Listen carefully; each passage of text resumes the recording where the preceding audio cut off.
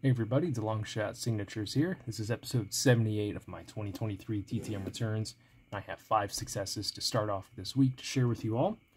First one we're going to do is a hero card uh, success. I did send to a team, only got back one of the drivers, but did receive, uh, I think it's five or six hero cards, and uh, two of them were signed.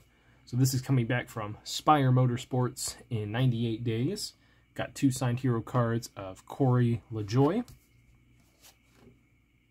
These are the two that were autographed. And I did get some other ones. I think these are from like years prior because he's got the shorter hair that are unsigned. But uh, potentially go to a race later this year. Could get those signed or, uh, you know, TTM down the road. Uh, their other driver on the team is Ty Dillon. Um, he hasn't had too great of a season this year doesn't seem to do as much TTM as he used to, uh, at least from what I've seen. Um, so that kind of stinks not being able to get him in this one, but uh, still worth a shot and some very nice looking hero cards from the team. Sticking with the racing theme, we have an NHRA success. This is a 3 of 2 return in 77 days from Drag Racing Hall of Fame member Gary Beck. Beck was a uh, longtime top fuel driver. He also won the top fuel championship twice, I think in like 74 and 83, if I remember correctly. I could totally be getting that wrong. Uh, yeah, 74 and 83. He also won the U.S. Nationals uh, three times in the top fuel division, including in his uh, professional uh, major debut uh, in NHRA drag racing. He had been racing for a while, but his first run in Top Fuel was at the U.S. Nationals, and he would win that year.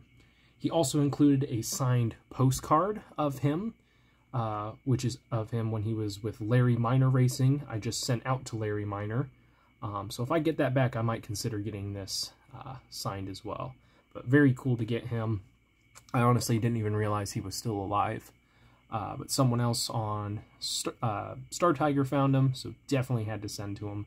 Very cool to add that to the collection. Then we have a former NFL and college football head coach. Probably one of the worst records I've ever seen for uh, former head coach. And unfortunately, a little bit of controversy involved with this guy as well. But he's part of football history, so I wanted to add him to the collection. So this is a 2 of 2 success coming back in 21 days. Uh, he is also from Indiana, currently residing uh, not too far from where I live. This is coming back from Rick Venturi. So he was uh, never a head coach um, by default. He was uh, an interim coach twice, once for the Indianapolis Colts, I think in 1991, and then another time for the New Orleans Saints. Uh, obviously taking over for teams that had let go of the uh, original head coach. So in the NFL, he had a 2 and 17 record. These were teams that were so bad that they were getting rid of their coaches early in the season. But he was also a college football head coach where things were not that much better, if you could even call them better at all. Um, but he was a three-year head coach at the uh, University of Northwestern, uh, you know, Big Ten and everything like that and had a 131 and 1 head coaching record. I don't know if losing to him or tying with him would be, you know, more embarrassing. And you guys might be wondering why I'm kind of talking so low about a guy who uh, I got an autograph back from. And I'm very happy to get it. But uh, with a little bit of further research, um, he was dismissed from Northwestern University not because of the performance. They kind of knew that they didn't have a great program. I don't know whether they would have held on to him regardless or not. Uh, but a lot of athletes came out against him, stating that he was uh, unfairly treating uh, a lot of athletes based off of their race and everything like that. Um, so he was investigated and eventually let go. Uh, so, you know, not 100% sure about this guy's character, but still part of football history. I do want to, you know, say both of those things. I'm not going to praise the guy, you know, for how he was as a person, and obviously he wasn't that great of a head coach either, but he was a good enough coach to remain in the college and football levels for a long time. I think he was even an assistant coach uh, in the CFL. So he did accomplish some things, but you know we can't forget about um, things that people did in the past as well that were wrong. Doesn't necessarily mean we have to hold them to that, but we can't just you know brush that under the rug. So I wanted to get that out of the way, but very very happy to get the return regardless. Next one, I'm going to have a little bit of trouble pronouncing her name, but a very nice return for the tennis collection. This is coming back from the Czech Republic rather quickly. This is a 2 of 2 success in 28 days from Catalina Siniakova, I think. She, uh, like I said, is from the Czech Republic, or at least that's where she's based out of now. Um, she's a pretty decent singles tennis player but she is really good at the women's doubles, um, having won multiple Grand Slams, and I think she's currently ranked uh, as the number one, um, or I don't know if there's like a tandem that they do for that, but she is uh, considered the number one women's doubles player in the world currently. I think she's won six or seven Grand Slams in the past five years uh, in doubles.